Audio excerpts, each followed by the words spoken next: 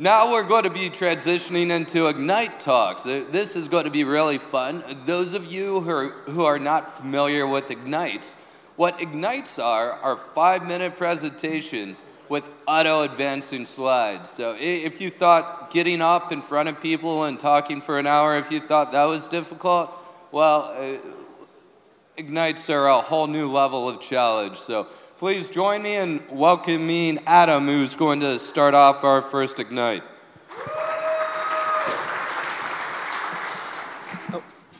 Thank you, everybody. Hope everybody's starting to wake up from lunch. Um, I'll go ahead and uh, introduce myself. My name's Adam Luck. I'm a senior engineer with Microsoft Incorporated. And what I'll be talking to you today is about ways that you can leverage DevOps to automate threat intelligence and detection. Um, I think it's critical that these are mechanisms that we can put into place without overthinking them and without requiring a whole lot of babysitting. And the main thing why I like to make sure that people begin to leverage these type of tools is your ability to set it and forget it, like the old infomercials. Once you have a mechanism in place, using a honeypot to automate detection of threats, you don't have to babysit it. You don't have to constantly look to see if the signatures are being updated or anything of that sort. And once it's deployed, you have the capability to let it work and do itself for you instead of you constantly looking through logs and being vigilant about these type of alerts. And the important thing and why I think it's necessary for everybody to do is what you can actually discover with this because it's important to note that our traditional methods of discovery are failing.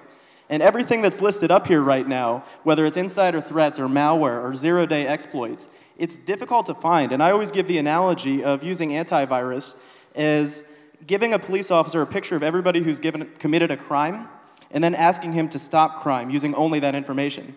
So it's important to have something in place that doesn't rely on signatures.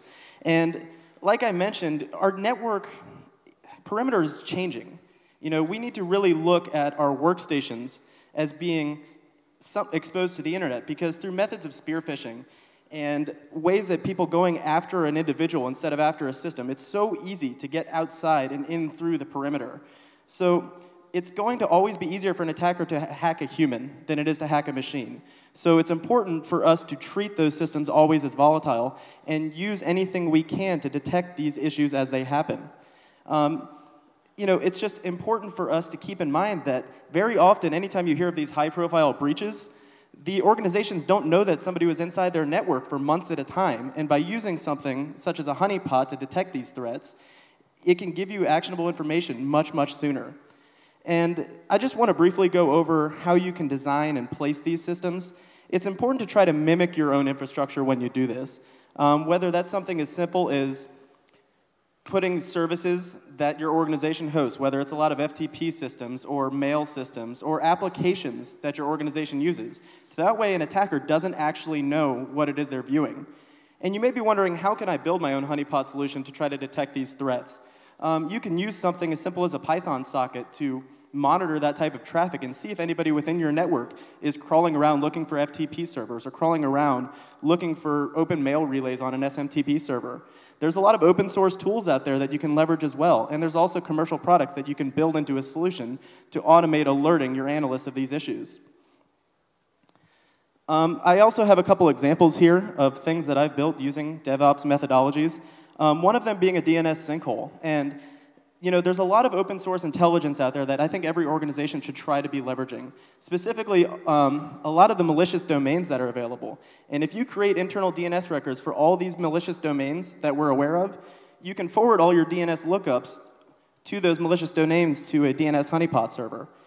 And by doing so, your analysts are able to find out who is actually going to those malicious sites. I've also mocked up a retail point of sale system um, using a honeypot solution. And by doing so, anytime an attacker is crawling around inside your segmented point of sale network, you have the capability to identify that sooner rather than later. You don't have to leverage traditional methods, because if they're using a zero day exploit or just performing port scans, that may not be something that you can find easily. But by using this type of solution, it gives you that capability to identify it as it happens. Um, another scenario that it's happening a lot more and more is mergers and acquisitions, and this can create an you know uncertain time for both parties. And it's important to note that you need mechanisms to detect this type of activity, and very often, unfortunately, M&As create disgruntled employees.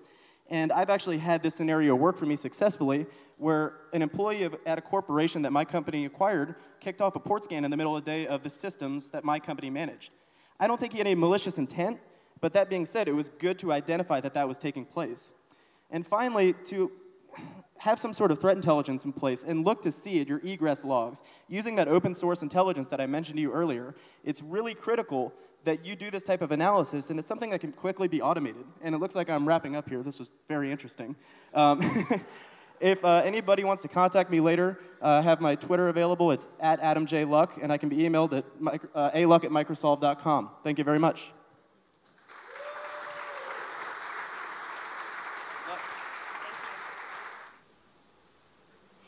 Decided that you wanted to be slimmer, or maybe run a faster 5K, would you start on a new diet or a new training plan without first taking some measurements and then continuing to measure as you went along to gauge your progress? Probably not, right? But what should we measure? I like this quote by Steve Howard, he's from IKEA. You should measure things you care about. If you're not measuring, you don't care, and you don't know. But why should we care about measuring and planning work for a shared DevOps group?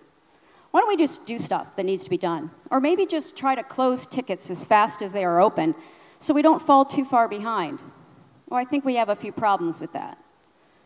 First of all, your stakeholders need some more information.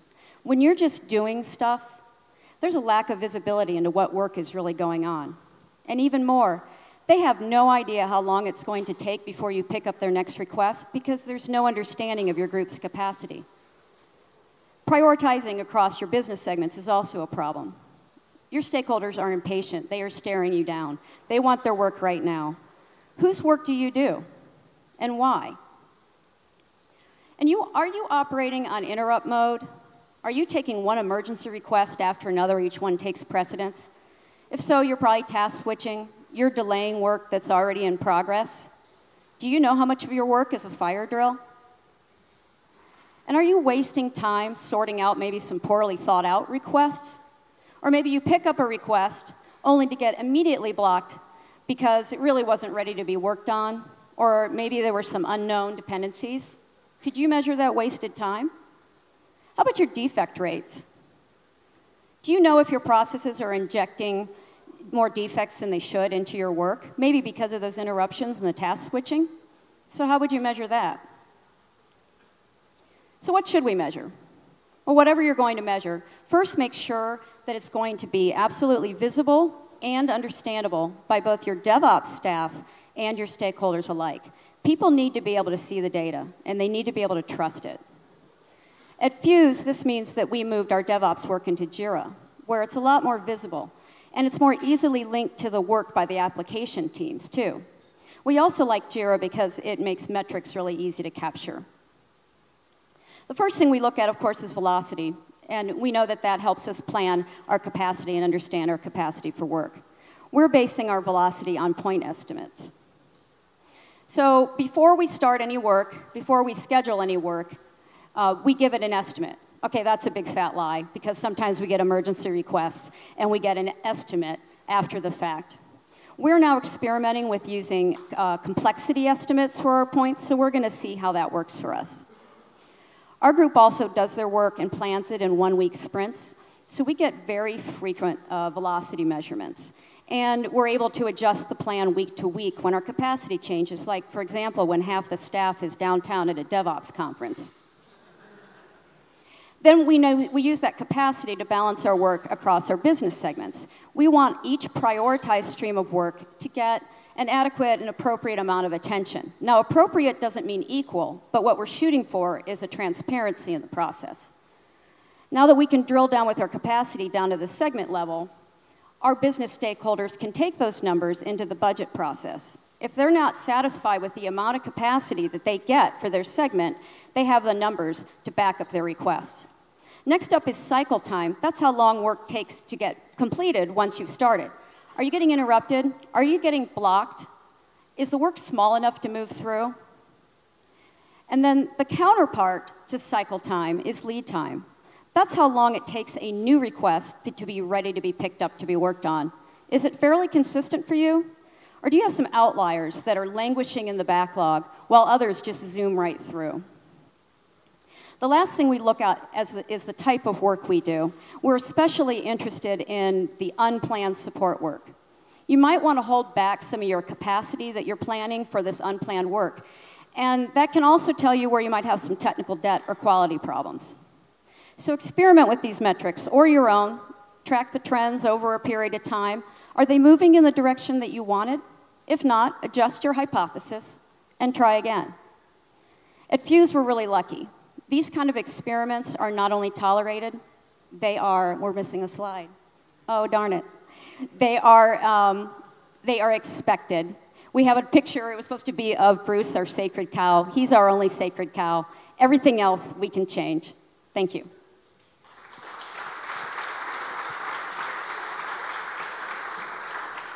Hi, I'm Dan. I speak a little quickly when I'm nervous, so I plan to deliver this talk in two and a half minutes. Uh, I came up with the concept for this talk because I just changed jobs, and when you do that, you have to get new hardware, and then you have to learn the tools that your team is using. And every time you change jobs, or on a smaller scale, change tasks or projects that you're working on, it's a context switch, and it wastes your time. We can't eliminate all the context switches, but what we can try to do is minimize the cost of them because we can't get rid of them entirely. Uh, developer time is expensive. So the, a technique that I've been experimenting with for this is containerizing all of my development tools. The, uh, every, everyone only needs to install a base set of tools, probably Git and Docker Engine, and then you don't have to install anything else. So if you have, for example, an Angular app that you're building, you need Git, NPM, Gulp, just to get started. And you probably have those things unless you were working on another project where you're using, using a different version. So instead, you, uh, I'm sorry, I have off-paced myself. told you I talk fast. Uh, these, these are the tools you have to have for that project. But instead, you containerize all of your tools and run them locally as an alias. I, I called this alias for this talk Docker run here as me. And what you do is when you launch the container, it's interactive, but it gets removed when it's gone because you don't care about any of the state. You run inside the container as yourself, and you mount the current directory and your home directory so that they're available to your tools. So instead of installing Node, Bower, Gulp, you have a Docker image with from Node, and you have Bower and Gulp in there. You build that image. Uh, the CI true is necessary for Bower because they made a change that asks you if you want to contribute statistics. Then when you invoke it, you just have to run it as you here. Uh, the dash P, you want to map your port in case you are hosting a service. Then Instead of running npm install, you run your node npm install, and you end up with your Bower components and your node modules. And if you run gulp, you get served, and you've never installed node.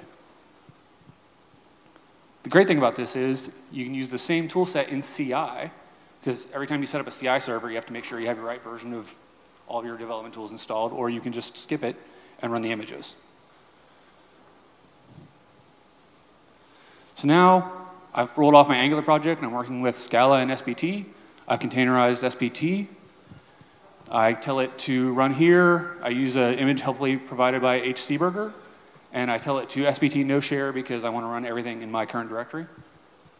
Then if I switch to Rails, the Rails image is actually perfect for this. They've in, they intentionally built their image to support this work style, and it's documented on their Docker Hub page. It says you can run Rails, Rails commands straight from our Rails image. Then I'm working on a Java project, so I have Maven containerized. And because I've mapped my home directory, it gets my home.m2 settings, it gets my home repository. And I can run Java commands or Maven commands from that image. You can also bundle your settings or even some pre-built artifacts in there. But then I switch onto a different project that has Java 7, run a slightly different image. And I never had to worry about changing my Java home or accidentally building with the wrong tools, which catches you every time. Um, if that's all those th- words that I said are too many things to type, you can put your commands in a make file, which I think make is one of my foundational tools, git, make, and Docker engine. And then I just say make build, make serve. But I also told you you wouldn't have to install anything. So if you don't want to install make or if you really hate it, you can just make bash aliases, aliases for everything. And then your alias for Maven is existing in, your, in a file checked in your Git repo, and it's there for you. Uh, this was a, another cool thing that I found. In addition to development tools, you can have testing tools. The Selenium guys have containerized their uh, browsers and hub image, and it works fantastically for running your browser tests. Uh, when I was trying this, co to copy and paste these commands back and forth, the, the slides were helpfully inserting smart quotes, so I put the clean commands in a Git repo so that everybody can try them out if they would like to. Thank you. I want to come back and circle back with you that stuff. So I hope that those slides will become available because that last one was really awesome. So I've got a bunch of questions to ask our operations team. And these are questions that every operations team needs to be able to answer. These are questions that don't have answers necessarily, that are everybody should do everyone this way. These are questions that you need to be able to answer for yourself. And if you don't know how to answer this question or you don't have a good answer for it, that's probably one of the things you should be working on. Because when we don't have ability, the ability to manage our people, our places, and our things, then we're struggling. We end up dealing with emergencies. We end up dealing with ad hoc processes. And most importantly, we end up with things that only one person knows how to do, which sucks because that person leaves. So, our people. Within every enterprise and every organization, the people are the most important thing. Um, thing. And we need to be able to manage how those people interact with our systems as cleanly and as effectively as possible. So, you hired someone. Great, yay. How long is it going to take before they can actually do anything? How long is it going to take before they have a computer, before they have um, accounts everywhere they need to have accounts? And this has always been a problem for me. How long is it before I know I have an account? Because accounts get created, but nobody actually tells you that. Um, ops is even special because there's special privileges that ops needs to have. So how quickly can somebody in ops do something? So now we, have had this person and they suck. So we need to fire them.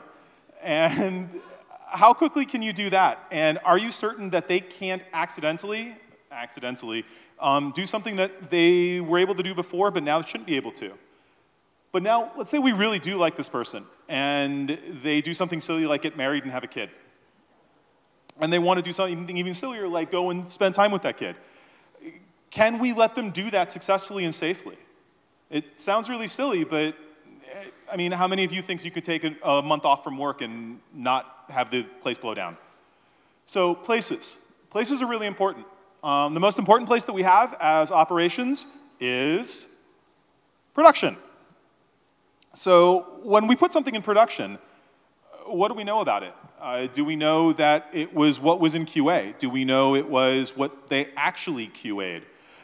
And how do we know it got there? And more importantly, how does everyone else know it got there? Because that's really important. I like big red buttons. Who likes big red buttons? Um, I like giving other people big red buttons in order to push so that they can go do my job, like promoting stuff to, to production. Um, speaking of production, how do, can you rebuild production? Let's say that the data center broke down. Um, what, what now? How can we recover from that? It's really cool when we have a backup and we have Git. This is my biggest pet peeve. How people say, well, that's just internal production. That's just Jira. That's, that's not really production. No, it's really production because I can't work if it's busted. So, things. I like some of those things. Two, one.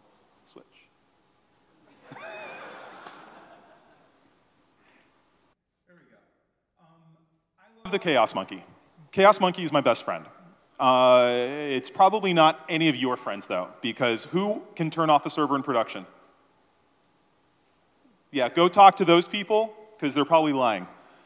Uh, this is also really important. This is have, having to do with how do you get somebody up and running? How do you get anything up and running? Can you create a structural clone of your production on a laptop that functions without external network? If you can do that, you can do anything. And how do you know that it works? As developers, we write tests. Do we do that as operations? Server spec is your friend. Use server spec. Use Vagrant. And then every single question, you can say you do it. You can say that I have the answer to it. And my question to you is how do you know? How does the new guy know? How does the management know? Because otherwise, if you don't know, it's just magic. Magic is doing something and you have no idea how it worked. And magic in your operations is one big fat timing? Fail. Thank you.